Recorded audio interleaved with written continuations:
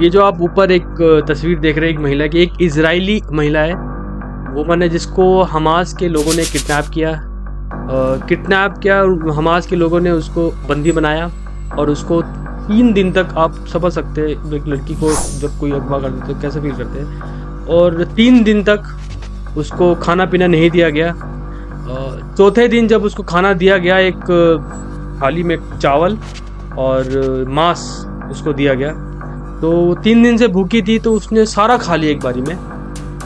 और जब उसने खा लिया तो उसको उसको बताया गया कि तुमने जिसका मीट खाया है, वो तुम्हारा ही एक साल का बच्चे का मीट है वो। तो आप ये सोच सकते हैं कि हमास की, हमास के जो लोग हैं, उनकी मेंटलिटी किस लेवल तक पहुँच चुकी है